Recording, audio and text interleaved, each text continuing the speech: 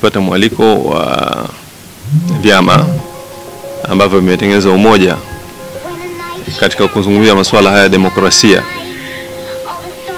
na nilitambulishwa hapo ni nini, kwa, kwa nini pengine wamependa kukutana na mimi. Kikubwa ni kwamba walipenda tuelewe, kwa sababu tumekuwa tukiona kwenye vyombo vya habari wakikutana na wakijadili masala mbalimbali mbali, hasa ya demokrasia na masuala ya kubwa zaidi la mswada wa sheria ambao umepelekwa unakusudiwa kupelekwa bungeni hivi karibuni wa vyama vya siasa. Kwa hivyo walipenda na sisi tuweze kujua kwa kina, na kwa kweli kwa kikao hiki wamejaribu kutueleza kwa kina e, tueleza kwa kina zile hisia na nini ambacho wanachofikiria, na sisi tumeona fikira zao ni fikira muhimu kujadili swala hili au kuweka misingi ya kudai jambo hili.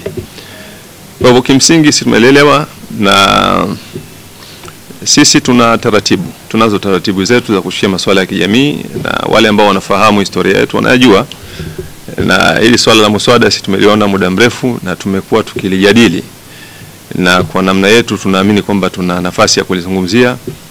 Kwa hivyo itakapofika wakati tutakao kulizungumzia, tutalizungumzia swala hili katika namna ambayo tutaona kwamba sahihi, na wala haiwi hai, hai kwamba ni msukumo wa vyama vya siasa. Hapana, ni utaratibu wetu na ni utamaduni wetu na tutalizungumzia lakini tu pengine tume fursa hii kueleza ule mtazamo wetu e, katika mswada huu. Mswada huu ni mzito kidogo, kwa sababu ni mswada ambao kana kwamba unakuja ku, kuzuia mambo ya msingi sana e, kwa sababu ikishafikia mahala kwamba e, watu wanazuiliwa wawakilishi wananchi, maana yake tunapozungumza wabunge au vyama vingine ni wawakilishi wananchi, kwamba ukiangalia mswada unawazuia una, una kuzungumza zile hisia au yale, zile fikra za wananchi.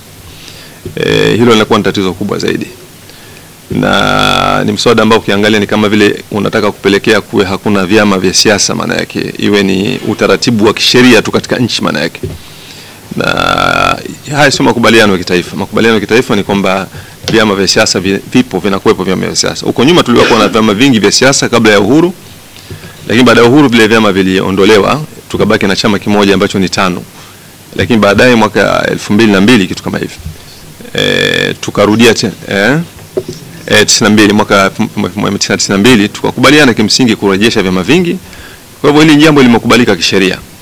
E, sasa mswada huu ukiangalia ni kwamba unakuja kuondoa yale makubaliano mwaka e, tisini na mbili kwa maana kwamba tunarudi katika mfumo kwa kuwa na serikali tu inasema na inapanga inaamua kila kitu, na hili jambo baya zaidi, na kama nilivyosema au nimepata kusema kwamba unapofika mahala ukawazuia watu kueleza zile hisia zao tena katika taratibu nzuri za kisheria, maana yake ni kwamba unawalazimisha waseme kwa utaratibu mwingine e, ambao unawezekana kuwa ni utaratibu mbaya zaidi. Maana yake inawezekana kabisa wakaenda katika utaratibu ambao unaweza kana unawezekana kabisa ukawa ni ule wa kuhatarisha amani ya msingi. Kwa hivyo ni mswada ambao hautakiwi kufanywa papara.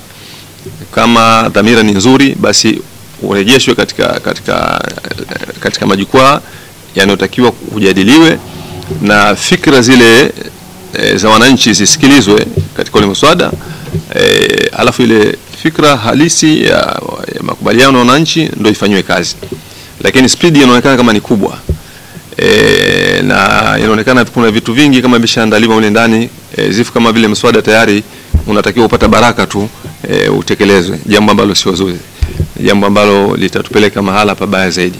Kwa kimsingi maoni yangu pia yako hivyo katika huu mswada, lakini tutazungumza zaidi pale ambapo sisi wenyewe tutakapokuwa tumekuwa tayari kuzungumza. Lakini niseme kikao cha leo, madhumuni makubwa kwenye kikao hiki mimi e, nilialikwa kwa na vyama hivi, kwa maana kwamba walikuwa wanataka tujue kwa undani zaidi ni nini ambacho wanachokifanya, na ni jambo ambalo tumefurahia kwamba ni jambo zuri zaidi.